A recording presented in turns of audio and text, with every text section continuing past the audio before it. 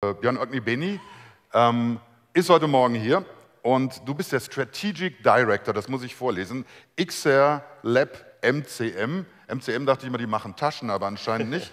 äh, Universität Münster. Und genau. du wirst uns heute Morgen ein bisschen was erzählen. Was hat es denn so auf, mit, auf sich mit dem Metaverse? Wir sind auch komplett gleich online. Das heißt, wenn es ein bisschen stottert, dann liegt es an euch, weil ihr eure Handys anhabt und im Web seid. Also deswegen bitte jetzt kurz mal runterfahren. Wir sind nämlich ganz racky. Hier ist ja einer der höchsten Technologiestandorte Deutschlands. Da ist das Internet immer ein bisschen problematisch. Stehen, Aber ja. ich freue mich darüber. Du erzählst uns, was das Metaverse ist, wo man sich da zu Hause findet so ein bisschen. Und ich freue mich unglaublich auf deine Morning Speech sozusagen. Schön, dass du da bist. Okay. Björn, ja. die Bühne gehört dir. Vielen Dank für die Einladung. Dann auch von mir einen guten Morgen. Ich äh, mache mal die Präsentation auf. Also mein Name ist Björn Onibini, wie ähm, Bernd gerade schon richtig sagte. Ich komme aus Hamburg, ähm, nicht aus Münster, äh, bin aber gebürtig aus Münster. Also von daher gibt es da durchaus einen Bezug. Ähm, und ich arbeite schon seit 20 Jahren so an der Schnittstelle von neuen digitalen Innovationen auf der einen Seite und Marketing, Vertrieb, Kundenservice, Dialog auf der anderen. Ähm, viel für, äh, direkt für Marken wie Deutsche Telekom, Nespresso oder auch die Bahn, ähm, aber auch viel für Agenturen und Beratungen. Und ähm, mein Imaginary Job Title ist äh, Practical Visionary und ähm, das äh, ist nur so halblustig gedacht, weil ich schon immer versuche, neue, spannende Themen zu finden, aber die immer mit einem starken praktischen Bezug. Also nicht nur einfach zu erzählen, ähm, was gibt es da Neues, sondern auch, was bedeutet das für mich als äh, Unternehmen oder als, als Kunden. Und da gibt es aktuell so drei Themen. Das eine ist Digitalstrategie ähm, ganz allgemein, dann Disruptive China, weil wir ich finde, viel zu viel nach Silicon Valley gucken und viel zu wenig nach China, ähm, weil dort sehr viel mehr passiert und sehr viel innovativere Dinge passieren. Und das Dritte ist das, weshalb ich hier eigentlich heute Morgen bin, nämlich das ganze Thema Metaverse. Und da kommen wir auch zum MCM, weil MCM steht nicht für Taschen, sondern für Marketing Center Münster. Und das ist die Universität Münster. Ähm, das ist das Marketinginstitut dort. Und da haben wir vor zwei Jahren ein XR-Lab gegründet, wo wir ähm, auf der einen Seite 50 von diesen Headsets haben. Man sieht da oben auch, äh, wie das dann aussieht, wenn wir das äh, für die Lehre nutzen, wo wir auch sehr viel ausprobieren, experimentieren, messen, ähm, um zu verstehen, wie virtuelle Welten wirklich in der Praxis funktionieren. Ja. Das Thema Metaverse war eigentlich so der Hype im letzten Jahr. Ja, wo, der angefangen hat, hat Bernd gerade schon erwähnt, äh, mit dem Kollegen hier, der plötzlich sein Unternehmen umbenannt hat in, in Meta und damit einen riesen ähm, ausgelöst hat. Das hier sind mal die Google Trends Charts. Man sieht aber auch, das ist dann relativ schnell wieder abgefallen. Nicht ganz auf Null, aber schon deutlich niedriger. Und aktuell ist es so, dass ähm, Mark Zuckerberg da ziemlich ähm, der Wind ins Gesicht weht ähm, und eben sagt, hey, das hat doch alles nicht geklappt mit deinem Metaverse, was auch ein bisschen komisch ist. Es ist ja gerade mal anderthalb Jahre her, man kann nicht erwarten, dass man die Welt komplett in anderthalb Jahren ändert. Aber trotzdem ist irgendwie dieses Thema gefühlt schon wieder weg. Ja, und das Thema heute eigentlich, wir haben ja das Jahr 2023, nicht mehr 2022, ist ChatGPT, äh, Bots und ähnliche Geschichten. Und die Frage ist, warum sprechen wir eigentlich noch über Metaverse? Ja, und ich glaube, es gibt da einen guten Grund für, weil es nämlich zwei langfristige Trends gibt, die dieses Thema sehr stark treiben wird, auch unabhängig davon, wie erfolgreich Mark Zuckerberg äh, und sein Unternehmen ist. Und der erste Trend, ähm, ist äh, die Tatsache, dass das Internet immer mehr zu einem sozialen Ort wird. Ähm, ich weiß nicht, ob jetzt eben bewusst ist, was ich damit meine, das will ich mal kurz zeigen. Das Wort sozial ist gestern ja schon in Bernds Präsentation ein paar Mal gefallen, nämlich mit Social Commerce. Und das ist ein sehr schöner äh, äh Begriff und sehr schöner Punkt. Ähm, wenn wir überlegen, Commerce, einkaufen, Sachen kaufen mit Freunden zusammen im physischen Leben ist eine Sache, die wir sehr einfach und, und äh, schnell machen können. Ja, wir gehen einfach gemeinsam in einen Laden und das war's. Wie machen wir das online? Ich habe mal darüber nachgedacht, wie gehe ich mit Freunden zusammen online was einkaufen? Und die Antwort darauf ist ähm, gar nicht. Das ist bei uns irgendwie nie so richtig durchdacht worden. Ja, also im realen Leben äh, Sachen einkaufen, einfach online Sachen einkaufen, mache ich eigentlich alleine. Das ist vom Use Case her bei so einer Firma wie Amazon erstaunlicherweise bisher noch nie so richtig durchdacht worden, glaube ich.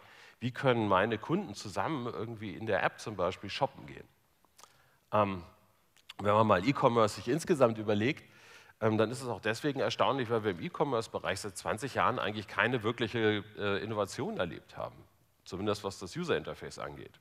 Ja, Amazon 2020 äh, sieht genauso aus wie 2010 oder 2000. Ja, das User Experience ist eigentlich irgendwann bei Ende der 90er Jahre erfunden worden und das war's. Ja, wir haben da nicht sehr viel irgendwie an Veränderungen gesehen ähm, und alle Wettbewerber machen eigentlich mehr oder weniger das Gleiche. Ja, also wie E-Commerce funktioniert, wissen wir, ähm, haben wir nicht weiter verändert, läuft. Das Problem ist aber, gemeinsam einkaufen ist da irgendwie bisher nie bedacht worden. Und das ist so einer der Punkte, wo äh, es Sinn macht, mal nach China zu schauen, weil dort ist das komplett anders. Ja, dort hat man mit dem E-Commerce genau an derselben Stelle angefangen, wo wir aufgehört haben. Ähm, aber man ist weitergegangen. Ja? Und äh, dort ist die Idee, mit Freunden zusammen einkaufen gehen, schon lange irgendwie äh, ganz normal in so Apps drin, mit einer ganz einfachen Funktion. Das ist jetzt nicht Rocket Science oder wahnsinnig innovativ, sondern ich kann einfach auf den Knopf drücken, eine Verbindung zu einem Freund herstellen. Wir können zusammen in der Taubauer-App, die wir hier sehen, das Produkt sehen. Mein Freund sieht genauso das, was ich sehe. Und ähm, dann können wir dazu sprechen und wir sehen gleichzeitig den Bildschirm. Ja, ganz einfache Geschichte eigentlich. Ähm, aber das Erstaunliche ist, wir haben da nie so richtig drüber nachgedacht. Und der Grund ist, dass unser Internet eigentlich heute ein ziemlich einsamer Ort ist. Fast alles, was wir online machen, machen wir alleine, ja? losgelöst von anderen. Das haben wir auch alle in der Pandemie, glaube ich, erlebt, ähm, wo wir alle gemeinsam einsam waren. Ja, mit diesem Use Case hier kennt jeder sicherlich auch. Ja, jeder saß in seinem äh, kleinen Briefmarkenkästchen, äh, aber auch wieder komplett alleine.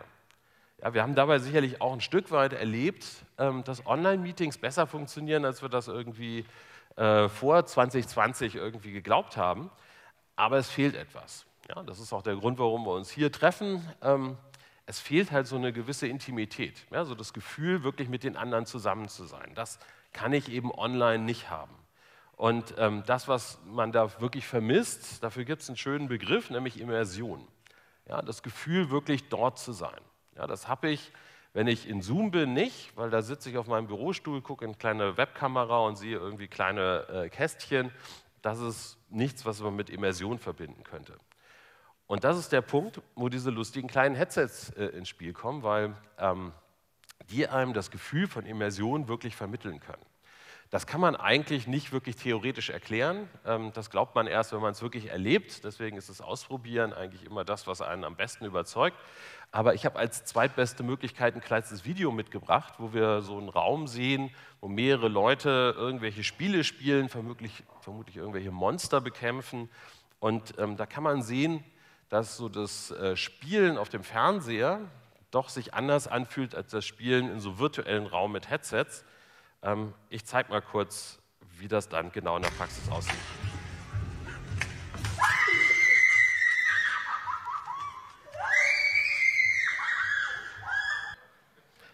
Ja, ähm, ich glaube, an der Stelle ist dann klar geworden, was Immersion konkret bedeutet. Ja, sie hat wirklich das Gefühl gehabt, dort zu sein. Ja, und diese VR und dieses 3D vermittelt eben das Gefühl von wirklich physischer Präsenz, ja, dass man wirklich an einem anderen Ort ist. Ähm, das hier ist mein Kollege in Münster, der ähm, gerne in seinem Büro Tischtennis spielt, ja, in VR. Ja, genau dasselbe Prinzip. Ja, auch er hat das Gefühl, wirklich vor so einem Tischtennis äh, Tisch zu stehen, obwohl der da physisch nicht vorhanden ist. Das Spannende ist aber, der, der auf der anderen Seite spielt, das kann ein Computer sein, das kann aber auch irgend, kann ein Freund, ein Bekannter sein, das kann aber auch irgendein anderer Spieler sein auf der ganzen Welt. Und das bringt das andere Ding zum Geltung, nämlich ähm, diese Immersion zusammen mit mehreren Nutzern sorgt dafür, dass wir Social Presence entwickeln, ja, das Gefühl, mit anderen an einem Ort gemeinsam zu sein. Und das ist eigentlich der Kern von Metaverse, ja, dass ich eben die Möglichkeit habe, plötzlich diesen einsamen Ort zu einem lebendigen werden zu lassen. Das zeigt auch, wie wir Metaverse ganz einfach definieren können. Das ist meistens ja relativ kompliziert, aber ich mache es mal mit einer ganz einfachen Arbeitsdefinition, mit der man ganz gut arbeiten kann. Ähm, nämlich virtuelle Welten, in die man einfach reingehen kann, ähm, ja, ohne Ein- und Ausschalter. Da trifft man dann reale Menschen als Avatare, und der Grund, warum man dort ist, ein wesentlicher Teil des User Experience, ist die soziale Interaktion. Ja, wenn das zusammenkommt, dann kann man eigentlich relativ sicher von einem Metaverse sprechen. Und das zeigt auch, dass nicht jeder virtuelle Ort gleichzeitig oder sofort ein Metaverse ist, sondern diese drei Sachen müssen ebenso als Schnittmenge zusammenkommen. Ähm, man braucht da auch nicht zwingend diese Headsets. Man kann das auch mit einem Handy machen oder man kann das auch mit einem, ähm, mit einem Laptop machen. Aber das äh, Gefühl, das echte Gefühl der, der Immersion, das stärkste, das hat man eben mit, mit solchen Headsets. Ja, ähm, und wenn man sich fragt, gibt es denn solche Headsets schon in der Masse, ist das schon so viel verbreitet wie ein iPhone? Nee, ist es natürlich nicht. Ja, das sind relativ kleine Gruppen von Leuten, die das haben.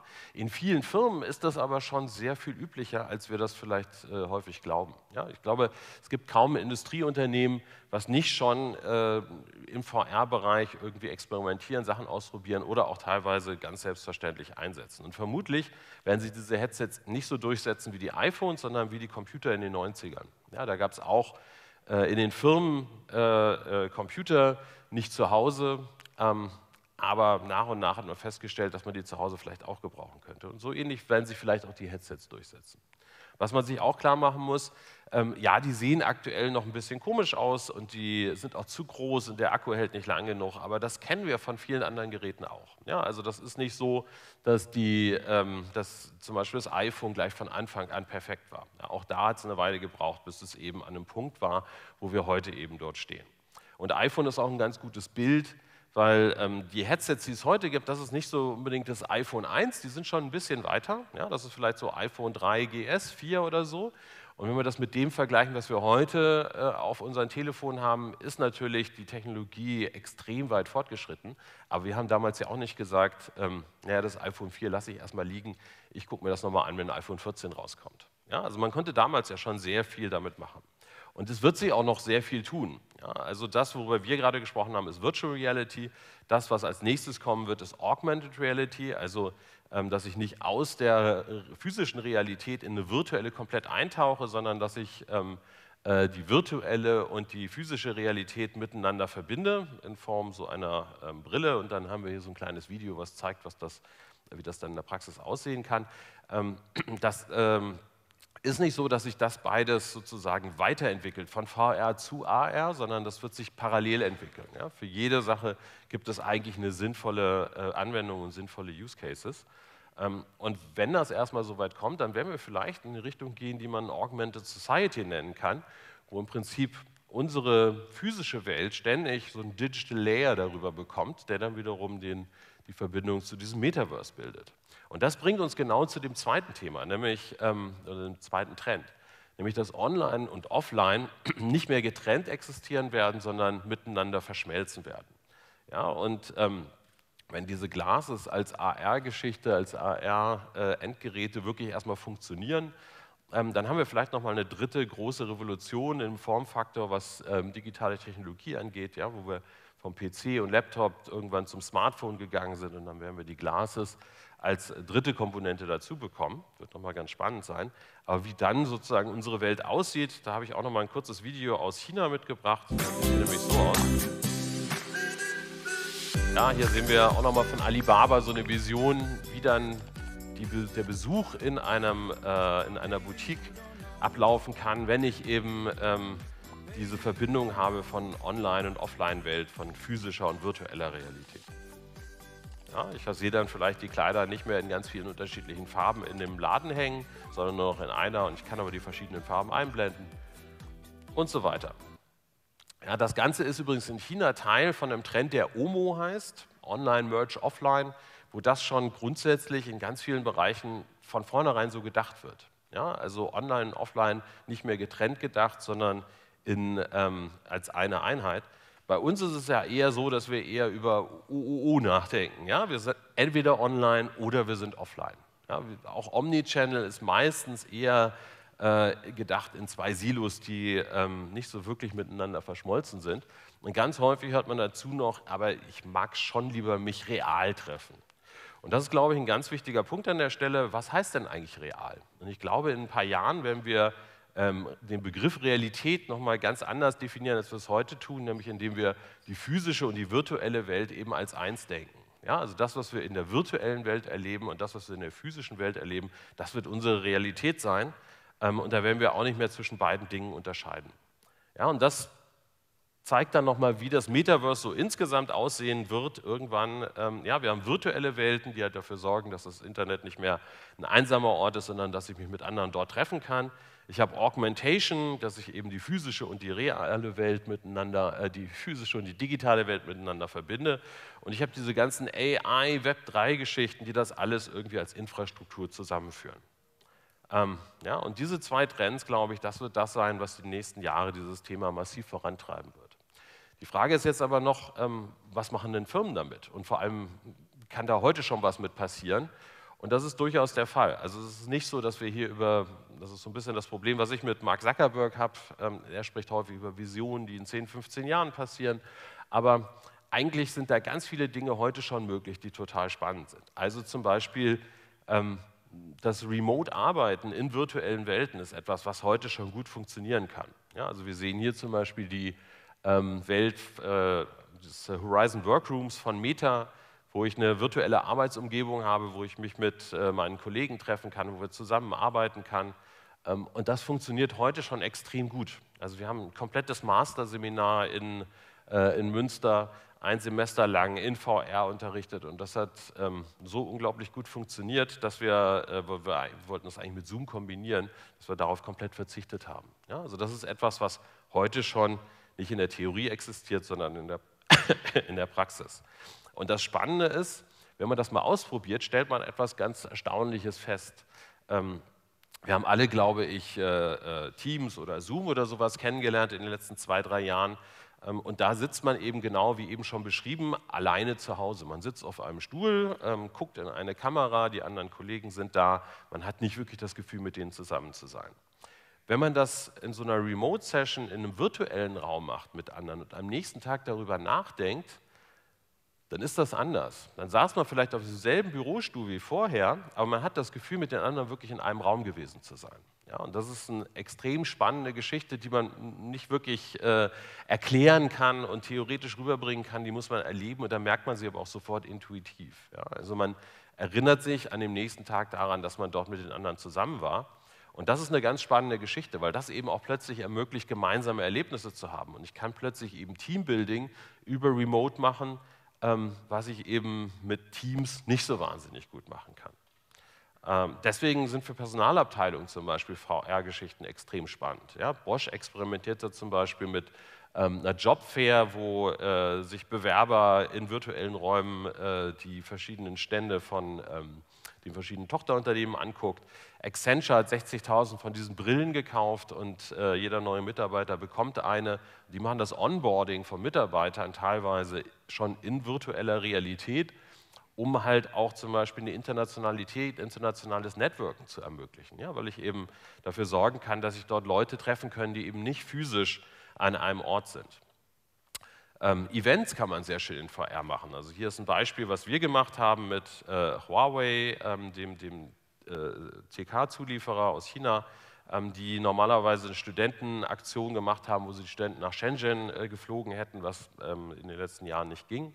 Ähm, das haben wir dann in VR gemacht und hat wirklich gut funktioniert. Hier kann man zum Beispiel den Leuten, die teilnehmen wollen, die Headsets einfach schicken, weil wir eben über 40, 50 Teilnehmer sprechen und das ist logistisch relativ einfach handelbar. Die müssen dann die Headsets nicht haben, sondern sie bekommen dann eben die zeitweise gestellt. Auch eine Sache, die heute schon sehr gut funktioniert. Was auch sehr gut funktioniert und was vielleicht ein bisschen besser noch zu äh, ähm, Ihren Thematiken passt, ist ähm, alles rund um Maschinenvisualisierung. Also hier äh, sehen wir ein Beispiel von Maylefer, einem großen Hersteller von ähm, Kabelsystemen aus Finnland, die die gesamte Produktion virtualisiert haben und die mit Kunden sich zusammen angucken können. Ja, das sind ganz lange äh, Produktionsstraßen, in denen halt diese Kabelstränge produziert werden. Die kann ich nicht mit zu einer Messe nehmen, die kann ich auch nicht einfach einem Kunden irgendwie nach Hause schicken. Ähm, ich kann aber auf der anderen Seite sitzen, irgendwo im Lappland, äh, da kommt der Kunde auch nicht so einfach hin. Aber ich kann halt zusammen mit ihm indem ich ihm vielleicht diese Brille vorher schicke, mich ähm, in diesen virtuellen Versionen treffen. Und das ist etwas, was auch heute schon ziemlich gut funktioniert und auch angenommen wird. Ja, das zeigt eben, es gibt eine ganze Reihe von sehr guten Use Cases, äh, die heute schon wirklich extrem gut äh, genutzt werden können. Der nächste Schritt, oder wir sind eigentlich gar nicht, sind da schon, also es ist jetzt auch nicht so, dass es wahnsinnig weit weg ist, ist, dass man auch über ein industrielles Metaverse nachdenken kann, ja, wo man eben diese ganze Virtualität nutzt, um industrielle Prozesse zu unterstützen. Das hier ist äh, unten ein Beispiel, was ich gestern im Zug hierher äh, gelesen habe, ähm, wo Nvidia, ähm, die Hersteller von Grafikkarten und AI-Systemen, ähm, die etwas ähm, aufbauen, was Omniverse heißt, was im Prinzip so ein ähm, äh, industrielles Metaverse werden soll, die mit BMW zusammen eine komplett virtuelle Version einer neuen Fabrik in Ungarn gebaut haben, wo die halt vorher schon die gesamte Fabrik ausprobieren können, Sachen schauen, prüfen können, ob die Maschinen dorthin passen und so weiter, ob die gut zusammenarbeiten, bevor sie wirklich aufgebaut werden. Ja, mit der Folge, dass natürlich viele Dinge sehr viel einfacher und besser und schneller und vor allem günstiger ausprobiert werden können, als wenn ich erst diese Fabrik aufbaue und dann feststelle, was nicht funktioniert. Ja, also dieses ganze Thema Digital Twins wird ein ganz wichtiger Teil sein, was wir in den nächsten Jahren auch erleben werden. Und viele Dinge haben wir dort heute schon. Ja da ist vieles nicht wirklich Metaverse, so wie ich es am Anfang beschrieben habe, und es geht eher so um Virtualisierung. Ähm, aber in ganz vielen Bereichen ist eben dann doch wieder die soziale Interaktion, das bessere Zusammenarbeiten ganz wesentlicher Teil von dem, was man dort macht. Ja, also dieses ähm, Planen einer Fabrik im virtuellen Raum findet dann ja auch nicht alleine statt, sondern ich kann dann eben mit meinen Kollegen zusammen durch diese virtuelle Fabrik gehen und mir angucken, ähm, was dort wie äh, am besten gemacht wird. Ja, und das eben, wie gesagt, geht nicht nur irgendwie in 10, 15 Jahren, sondern durchaus in ganz vielen Bereichen schon heute. Jetzt aber noch so ein bisschen die Frage, ähm, was können Sie denn eigentlich damit machen? Ja, also was macht Online-Print mit, äh, mit dem Metaverse? Da bin ich allerdings nicht so der Experte. Bernd hat dazu schon was geschrieben. Ähm, das kann man, glaube ich, empfehlen. Aber ich habe gedacht, ne, ähm, 2023 ChatGPT, was macht man heutzutage? Man fragt ChatGPT. Ähm, Habe ich gestern auch mal schnell gemacht. Ja, wie kann äh, eine Online-Print-Company eigentlich das Metaverse nutzen? Und da kam dann die Antwort hier. Und da sind viele Sachen, die sind, glaube ich, durchaus sinnvoll. Ja, Virtual Showroom hatten wir gerade schon, interaktiver Produktkatalog, äh, Customizing ist, glaube ich, auch nochmal Thema. Ähm, auch hier vielleicht taucht das auch. Virtuelle Events haben wir gerade schon gesehen. Gamification bin ich mir jetzt nicht so ganz sicher, ob das wirklich passt, ähm, aber äh, ja, also da sieht man durchaus eine ganze Reihe von ähm, ganz spannenden Ansätzen, die man vielleicht mal verfolgen kann. Das Fazit von JetGPT sah dann so aus. Ähm, ja, also wofür kann man das Metaverse nutzen?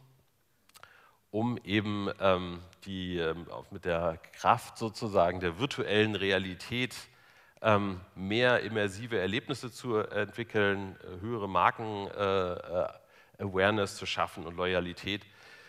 Ehrlicherweise muss man sagen, das kann man wirklich für fast jeden Marketingbereich nutzen. Das ist jetzt ein bisschen generisch, aber gut. Aber ich glaube, dass da eine ganze Reihe von wahnsinnig spannenden Sachen demnächst möglich werden. Äh, und ich kann Sie nur einladen, das ähm, auszuprobieren, weil das wird wirklich, glaube ich, sehr spannend sein, was da in den nächsten Jahren auf uns zukommen wird. Ja, Vielen Dank.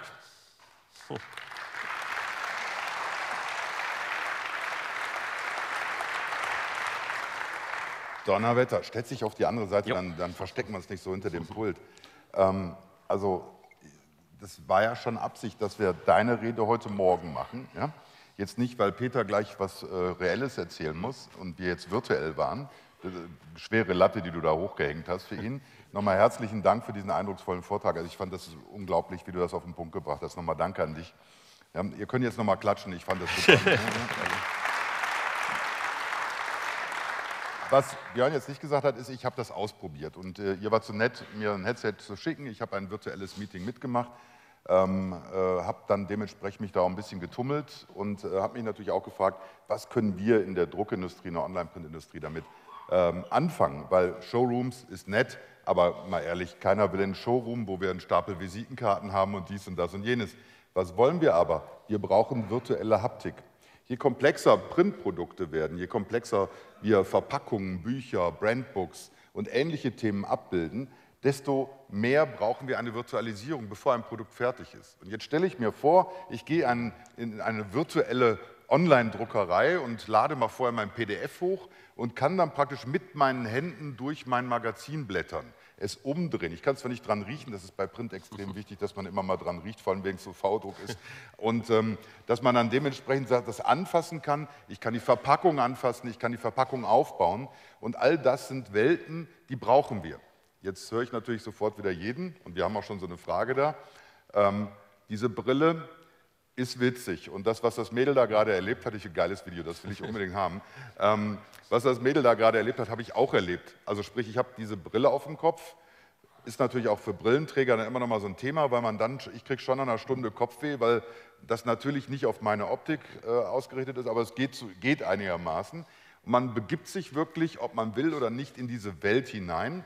Und es war dann auch wirklich so, dass man Leute trifft. Die sehen zwar alle ganz komisch aus, gebe ich ehrlich zu. Ja? Also so Köpfe, die schweben und all sowas. Also wie, aber es ist toll, dass man sich da hineinbegibt. Und wenn ich mir dann das abstrahiere, Entschuldigung, dass ich so aushole, dass wir dieses Thema, wo wir jetzt 3D-Renderings machen, wo wir große, aufwendige Renderings machen, wo wir on-demand Verpackungen bebildern, wo wir on-demand sehr viele Themen machen, dann sind wir gar nicht so weit weg davon, weil wir können diese Modelle auch in virtuelle Welten transportieren und da auch sichtbar machen.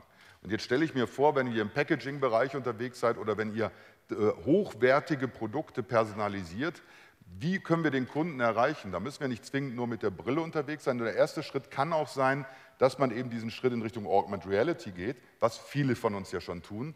Aber wir sind eben über den Zeitraum der Spielerei hinaus. Wir sind jetzt an einem Punkt, wo es eben nicht Zukunftsmusik ist, sondern reell ist und dass wir es umsetzen können. Und deswegen war mir das so wichtig, dass du heute Morgen hier bist. Jetzt ist aber dann eine Frage, wie lange kann man so ein Headset tragen, also wegen dem zusätzlichen Gewicht am Kopf, also bei so einem Dickkopf wie bei mir geht das, äh, kann man ein 8-Stunden-Meeting ohne Probleme damit realisieren? Tja, Björn, jetzt bin ich mal gespannt.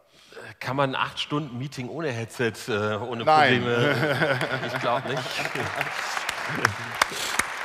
ich hoffe nicht. Ähm Nein, also äh, die Faustregel ist, äh, dass der Akku länger nicht so lange hält wie man selber. Also ja. ähm, das ist gar kein Problem.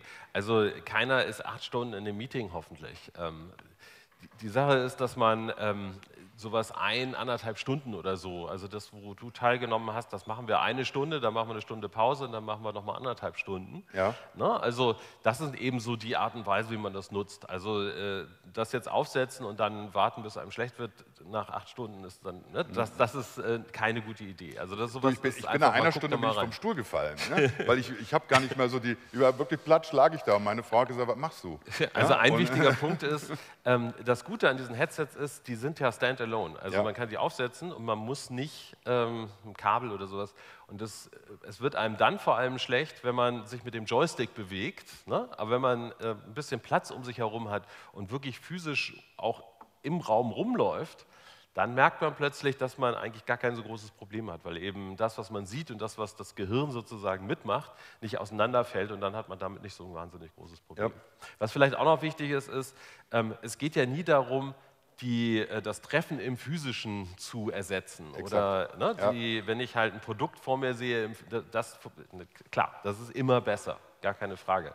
Es geht darum, ähm, eine Remote-Session besser zu machen. Ja, also wenn ich eben mich mit einem Kunden treffen will und die Alternative ist äh, Zoom oder was anderes, dann ist das anderes, und das kann dann VR sein, vielleicht besser. Ne? Mhm. Also äh, wenn ich mich mit dem Kunden vor der Druckmaschine treffe und mir das angucke, ist das natürlich immer die bessere Alternative. Aber wenn der Kunde vielleicht, weiß nicht, aus dem Ausland kommt oder sowas, dann ist es natürlich nicht so einfach, dass man sich mal eben trifft. Und das geht eben in VR heute schon ziemlich gut. Ich glaube auch, dass ähm, uns diese Technologien helfen, wenn man zum Beispiel, ihr kennt das, man will erstmal jemanden kennenlernen, bevor man vielleicht hinfährt und mit dem längere Zeit verbringt.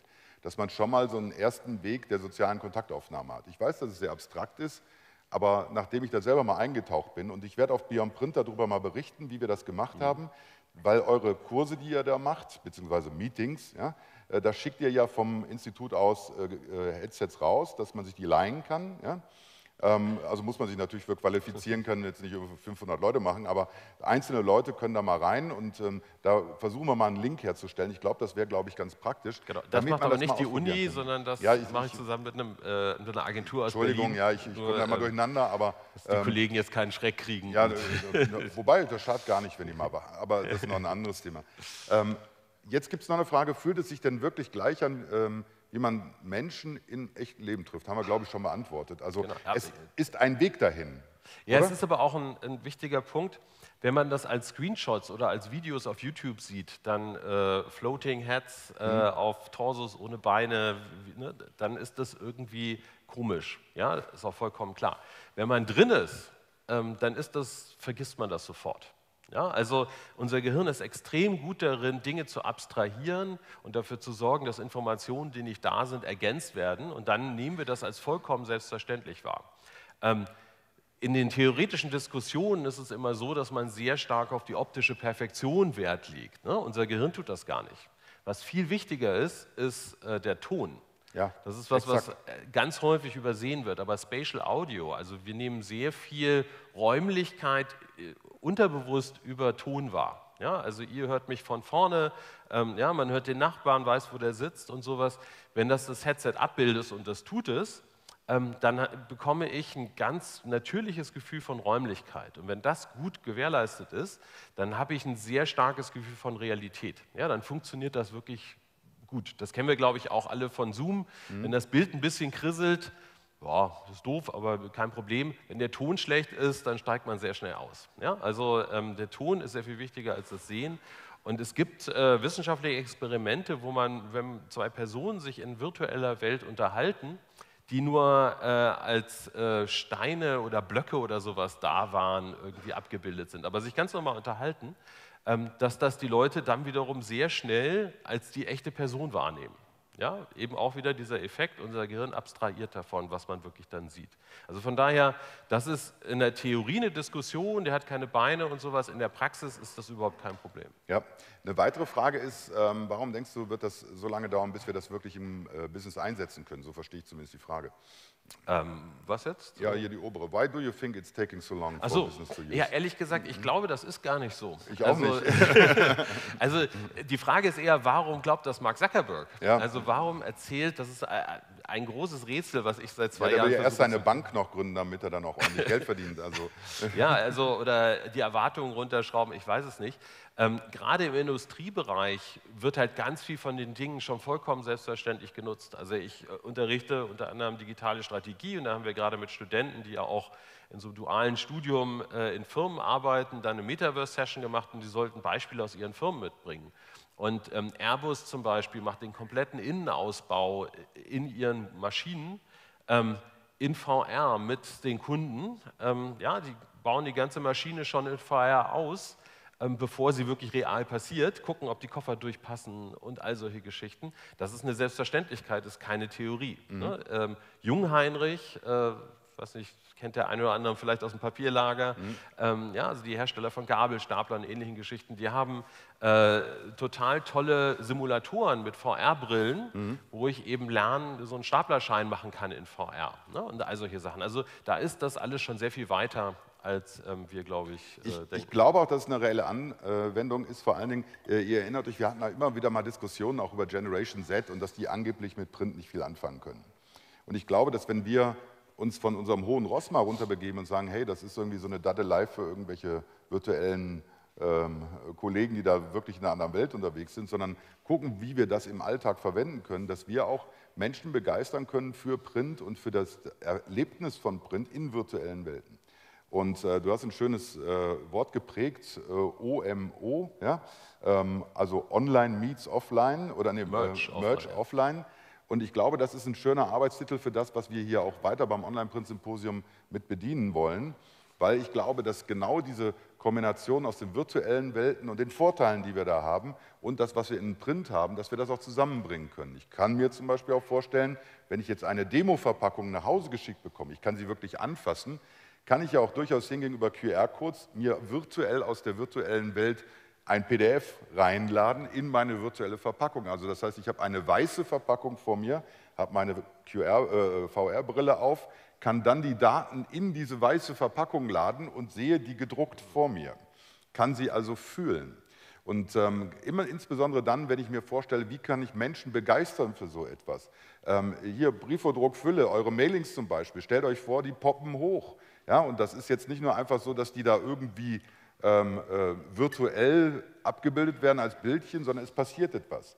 Und da wir die 3D-Rendering-Modelle ja haben, da wir vieles schon haben in unserem Umfeld in der Online-Druckindustrie, Klassische Drucker haben es ein bisschen schwieriger, aber in der Online-Druckindustrie können wir diese Modelle auch virtualisieren und nutzen. Und ich glaube, das ist ein äh, ziemlich guter Weg, da, dahin zu gehen. Ich hatte schon überlegt, ob wir es nicht hinkriegen, dass wir allen so eine Brille hier mal aufsetzen für so eine Morning-Session. Habe ich gedacht, gestern Abend gab es Gin Tonic, die Arbeit musst du dir nicht machen. aber es ist definitiv ein großes Thema. Und Björn, ich danke dir von Herzen. Oh, da gibt es noch eine Frage. Avatare transportieren keine Mimik. Warum ist das besser als Zoom? Ähm, also erstmal äh, ist das nicht ganz richtig. Also die neuen, neue stimmt, Generation von Brillen. Augenbrauen hochziehen und Nee, die, die, die, haben Kameras, die nach innen gehen, ah, okay. die komplette Mimik übertragen. Also die Quest Pro zum Beispiel von, ähm, von äh, Meta. Ja. Ähm, da habe ich halt alles komplett, äh, sozusagen, was mein Gesicht macht, überträgt sich auch auf meinen Avatar. Also da habe ich die Mimik mit drin und bei fast allen neuen Headsets ist das so. Also ähm, von daher, da geht man hin. Ähm, und warum ist es besser als Zoom? Wie gesagt, ähm, beides hat seine Berechtigung. Ne? Also ähm, das ist jetzt nicht so, dass es äh, alles komplett besser ist als eine Remote-Session äh, in, Zoom oder Teams.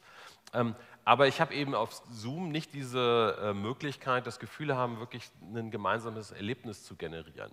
Also jetzt nur mal so ein Beispiel, wenn ich mich mit mehreren Leuten, so wie wir das gemacht haben, in so einer virtuellen Welt ja. treffe und dann ist Pause, so wie wir das gleich in, weiß ich nicht, einer Stunde oder sowas ja. hier haben, dann gehen die einen in die Richtung, die anderen gehen in die Richtung, ein paar stellen, sie bleiben sitzen und unterhalten sich mit seinen Nachbarn. Das kann ich in Zoom alles nicht machen. Ja, das kann ich aber in so einem virtuellen Event machen. Da habe ich die ganzen sozialen Prozesse, die wir hier so auch so die letzten äh, 36 Stunden erlebt haben, die habe ich in der virtuellen Realität auch. Und das ist einer der wesentlichen Gründe, was die fehlende Mimik ein Stück weit kompensiert. Was mich ja absolut gestört hat in diesem virtuellen ähm, Playground, wo wir waren, wir haben uns ja auf einer Ebene getroffen, dann sind, konnte man runter zum Feuer, äh, Lagerfeuer gehen, überall Rauchen verboten. Finde ich eigentlich eine Sauerei. Ähm, aber wir kommen wieder zum Ernst zurück Warum ist dieses Thema wichtig für uns? Weil wir einfach lernen müssen, mit diesen Technologien umzugehen und die zu verbinden mit dem, wie wir verkaufen wollen in Zukunft. Und wie wir verkaufen wollen, auf der einen Seite, aber auch, wie wir Sachen erfahrbar machen. Und ich glaube, dass da äh, die beste Herangehensweise für euch ist, weil ihr fragt euch sicher, wenn ihr jetzt ein kleineres Unternehmen seid, ja, wie sollen wir das denn noch machen? Gleiche Frage wie gestern, was sollen wir denn noch alles machen? Aber tastet euch daran. Nehmt ein, zwei Leute, macht ein Tiger-Team oder nennt die einfach die Jungs mit den virtuellen Brillen und die probieren mal was aus und die erklären euch als Unternehmer, wie sowas geht. Seid ihr ein größeres Unternehmen, habt ihr IT, die sowas machen, aber probiert es aus und probiert vor allen Dingen aus, was kann man da vielleicht auch mit dem Handy noch machen, weil dieser Schritt übers Handy ohne die Brille ja, ist auch erstmal ein guter Ansatzpunkt, um überhaupt sich da hineinzufinden in dieses Thema.